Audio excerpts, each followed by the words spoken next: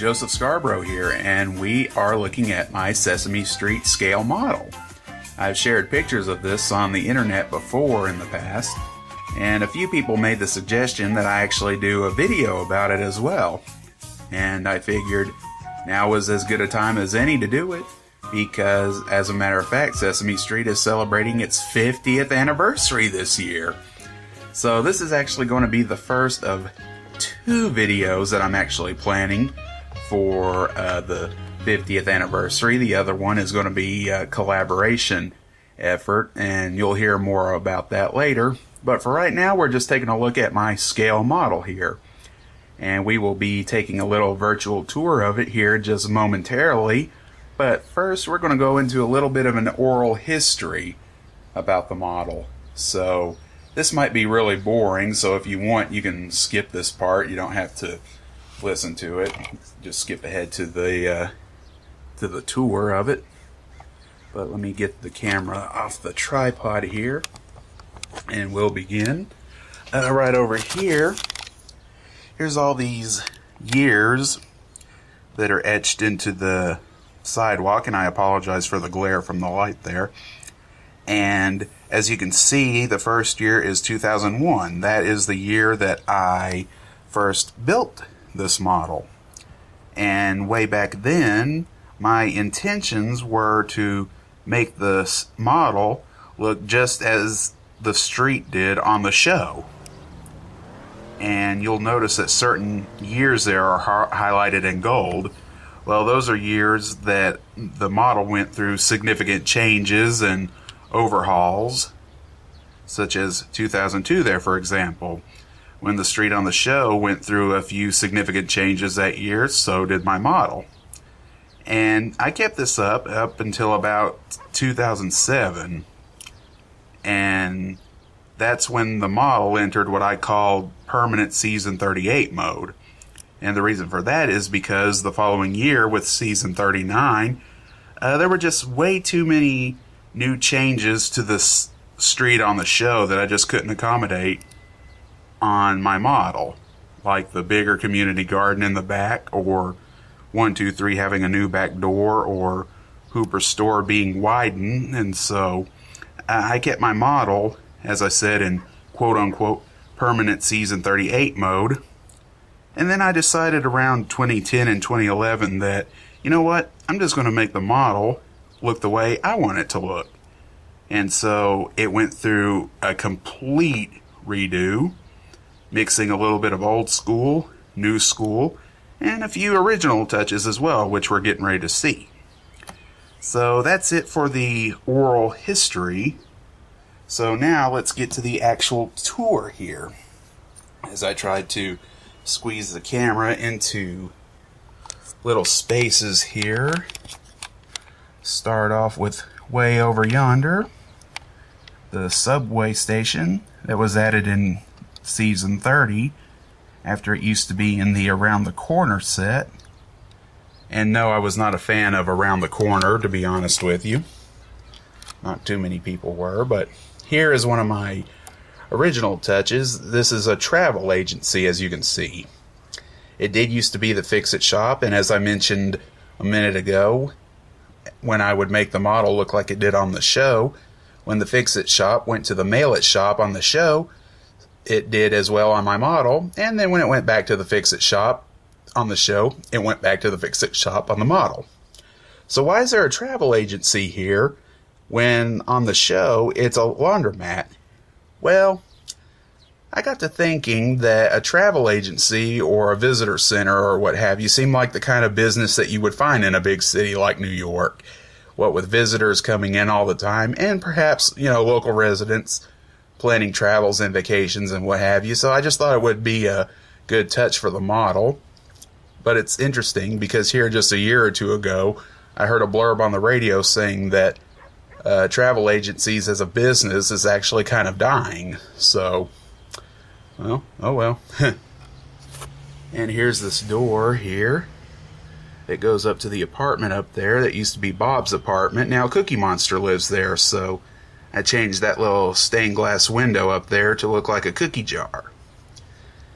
And now here's Hooper's store, and Hooper's store is actually really interesting. Um, I personally, I never really minded so much that Hooper's Store kept modernizing over the years, mainly because I felt like that was a realistic reflection of, you know, times changing and locales and what have you.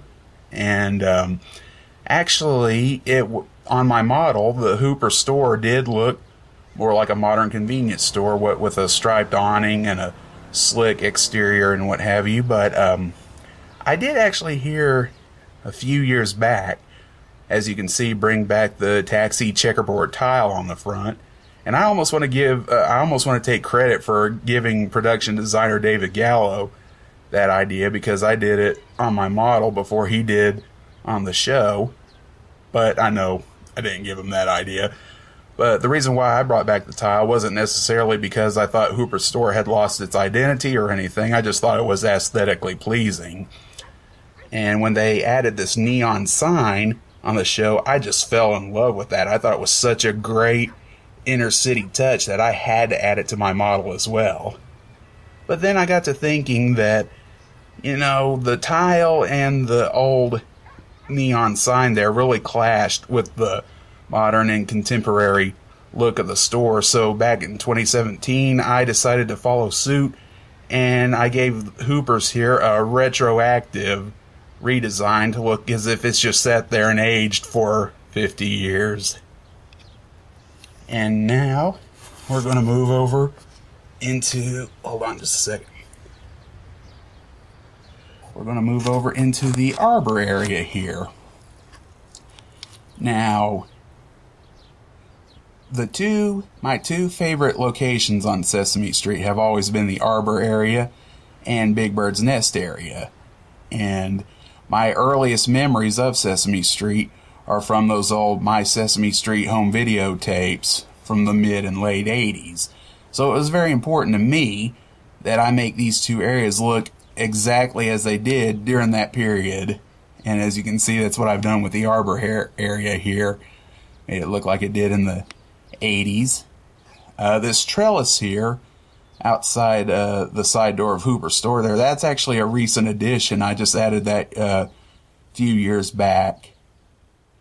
And as a matter of fact, I did with these uh, with the staircase on the carriage house here as well.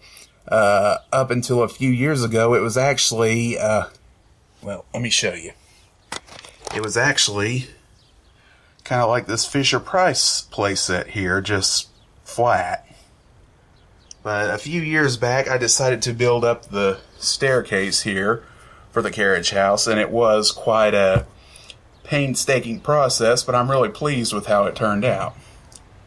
And we got the tire swing there.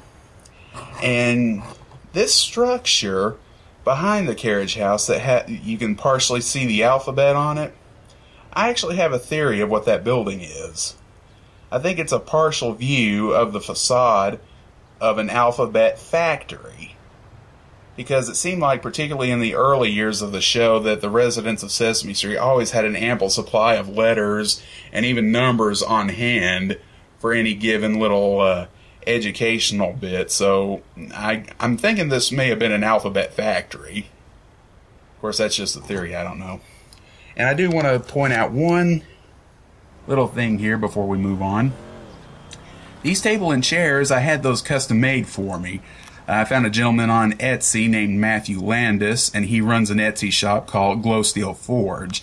He's a 3D printer, and he usually prints uh, items for tabletop games like Dungeons and Dragons and things like that, but he also does custom orders, and he is really great to do business with. I mean, he will actually go over each and every single little detail with you just to ensure that your order is exactly as you want it to be. So uh, if you ever need anything like that, I would definitely check him out. Like I said, he's on Etsy. And I do have another set of table and chairs, but I usually keep that on the roof of 123. And now we're going to go just real quick to a different angle over here. It's kind of difficult to get into. But you'll see that the side of Hooper Store here, there's that side window that was added in season 30. But you'll also notice that there's a mural here as well. And Hooper Store used to have various murals painted on the side wall in the old days, but you know, I never was really able to find good uh, angles in photos of those murals, not even really on Muppet Wiki. So I decided to put in an original mural of my own, which, as you can see, is mostly food and groceries, which I think is rather apropos for Hooper Store, which is not only a little store, but also like a lunch counter as well. So now, we're just going to move on over here to 123 Sesame Street. Put the tree back in place there. And 123 Sesame Street, I mean, it's timeless. It's timeless. I mean, it can really fit into any era of the show. But as I mentioned earlier, when I made changes to the model based on changes on the show back in like uh, 2002, 2003, when 123 repainted its doors and window frames to red on the show, they were changed to red on the model, and when they went back to green two years later on the show, they went back to green on the model as well. So I mean, again, you know, one, two, three is just timeless, and there, there's really not much to say about it. But now we're going to move on over here to Big Bird's nest area. Well, we're going to get back there. Try my best anyway. And again, as I mentioned earlier, I wanted wanted Big Bird's nest area to be old school as well. So as you can see, you got the aged construction doors here, which is really actually the uh, really the only change made to the show in recent years that I don't particularly care for. Uh, I realize those construction doors really don't mean much anymore, but I mean, just the familiarity of them, that's what I miss now that they're gone. And I have been asked before about this little sign with Big Bird's name and address on it. I am aware that that's where a basketball hoop was, a netless basketball hoop. But the sign that I put there instead is another one of my original touches because really, when you think about it, how can anyone play basketball in that spot? There's just too many, you know, blocks there. You know, you got that little fence there to the right. Oscar's trash can set up to the left here, you know, uh, mailbox, lamppost, things like that. That's not a really good open area for basketball, as opposed to, say, you know, this little bushel basket on the carriage house here. But we're going to get ready to go down this alley here. And one thing I'm going to point out, too, and this is something that I only recently realized in recent years, uh, this brick wall that's been next to Big Bird's nest all these years, those are actually recycled from the Around the Corner set. As it turns out, half the wall down there was the side wall of the Furry Arms Hotel, which is why those fire escape windows are smaller than others. And this part of the wall here was the side wall of Finders Keepers. And in the older days of the model, this alley actually used to be much, much wider than it is now. As a matter of fact, it was about twice as wide. And it used to, ha- Oscar's Sloppy Jalopy used to be parked way back here, but there's no room for it anymore because it's a whole lot narrower now. So now we're going to try to get into Big Bird's nest area here. And again, as you can see, I made it, try to make it look as it did in the 80s. You got this uh, excavation back here and the oil barrels over here.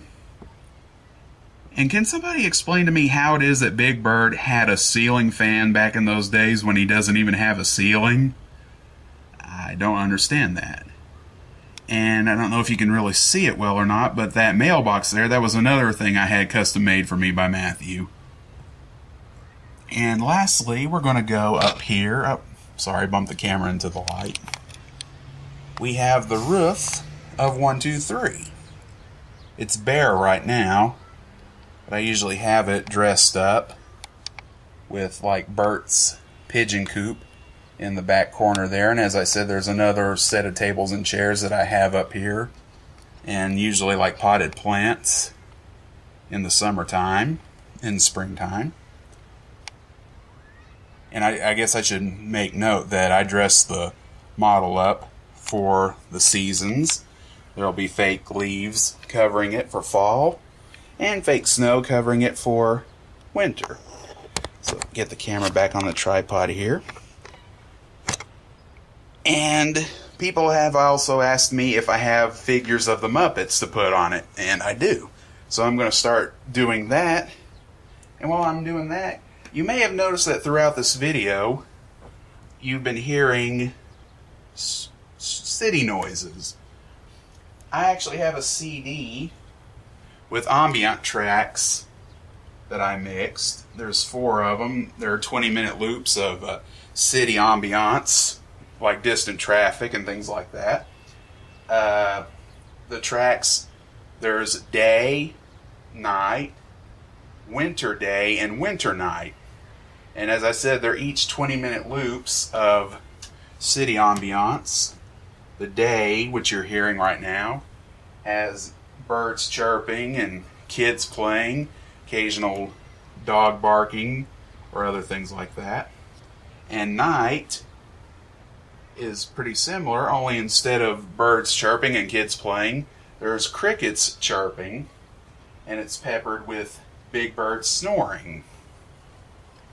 And winter day and night are like this as well, except winter day has more kids playing, less birds chirping, and winter night has no crickets and hardly any traffic, but faint wind blowing.